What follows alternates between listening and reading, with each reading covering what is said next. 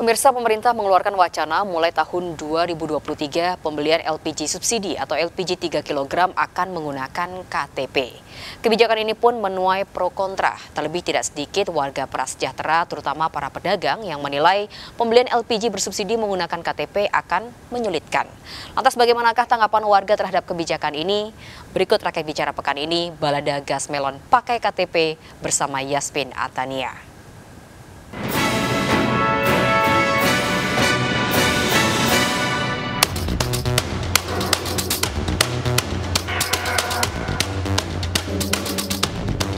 Pemirsa bersiaplah. Terhitung sejak tahun 2023, pemerintah akan menerapkan kebijakan pembelian gas melon yang harus menyertakan identitas KTP. Pemerintah berdalih langkah ini dipilih untuk mendorong distribusi subsidi LPG 3 kg ini tepat sasaran. Lantas apakah masyarakat setuju dengan aturan tersebut?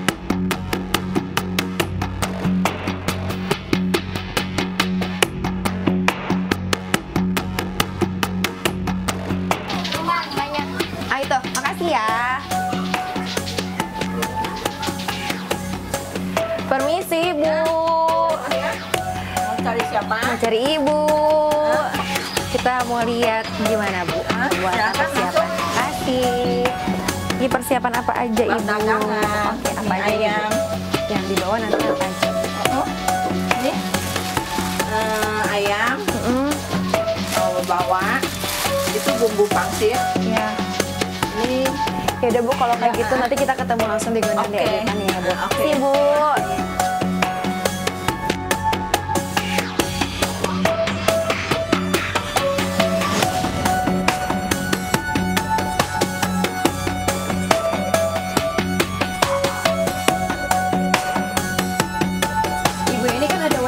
Pembelian gas 3 kilo ya sebentar Heeh. lagi ini akan menyertakan KTP. Nah, Heeh. Ibu sebagai pedagang ini setuju atau enggak? tidak setuju melalui KTP. Ke satu repot, kedua susah ya takutnya ya. Mendingan nggak usah pakai KTP. Lebih biasa aja gitu. Nah, selama ini Bu kalau misalnya beli gas 3 kilo ini dapatnya gampang atau enggak stok? Gampang. Gampang. Gitu Eh, ya. Yang pedagang ada stoknya. Pemerintah ini berdalih ya Bu penggunaan KTP ini nantinya supaya yang dapat subsidi gas 3 kg ini tepat sasaran. Kalau Hmm. kata pemerintah kayak gitu, makanya Hmm. harus pakai KTP. Hmm. Nah, Ibu sendiri nanggepin itu gimana Bu? Saya nggak setuju ya. Tidak setuju gitu. Tetap merasa ribet gitu ya? Ya? Ribet. Oke. Nah, nantinya dengan penggunaan KTP Ibu merasa dipersulit gitu nggak Bu? Takutnya. Takutnya. Ah, takut dipersulit ya. Tapi selama ini kalau Ibu beli gimana di sini langsung beli atau kayak gimana? Langsung beli, dapat. Ini kosong satu. Langsung beli, soal mau tutup beli, langsung taruh buat besok gitu. Nah, saran Ibu nih terhadap pemerintah utamanya dalam hal ini Pertamina seperti apa dengan ada wacana pakai KTP? Nggak usah ya, bagusan ya. Bagus nggak usah dah.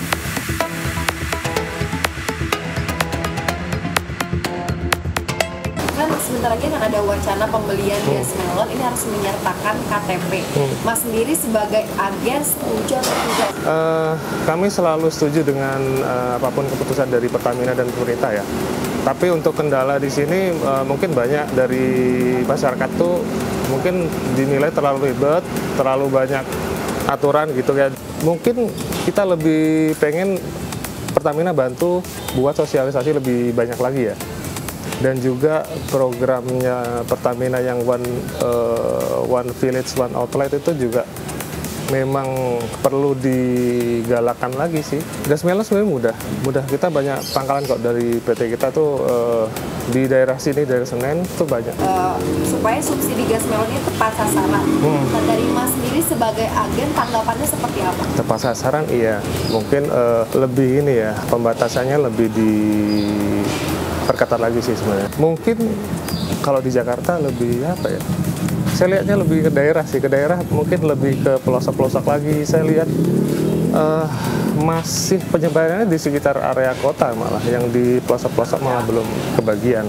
Sosialisasinya tetap eh, banyakin iklan di TV atau di mana itu lebih baik sih menurut saya. Ada tiga jenis konsumen yang diperbolehkan untuk menggunakan LPG 3 kg.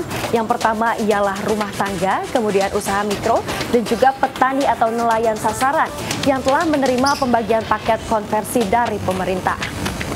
Di luar dari tiga jenis konsumen tersebut, warga lain tidak diperbolehkan untuk menggunakan LPG 3 kg. Lantas bagaimana cara beli LPG 3 kg menggunakan KTP di tahun 2023?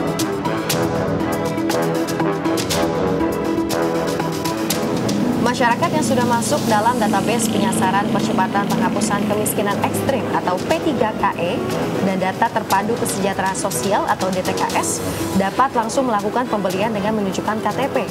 Artinya, mereka selama ini dianggap prasejahtera dan juga menerima bantuan sosial. Sementara bagi masyarakat yang datanya belum masuk, maka petugas akan melakukan pembaruan data. Baru kemudian warga yang baru mendaftar dapat membeli LPG melon seperti biasa menggunakan KTP.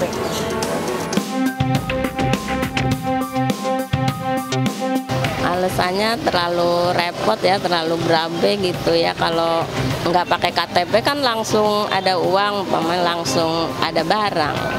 Kalau pakai KTP kalau lagi sempat, kalau lagi nggak sempat gimana? Gak setuju ya, kayaknya ribet KTP segala. Maunya sih nggak usah pakai KTP segala gitu, biasa-biasa aja. Jangan kayaknya terus KTP kalau ketinggalan gimana? Hmm.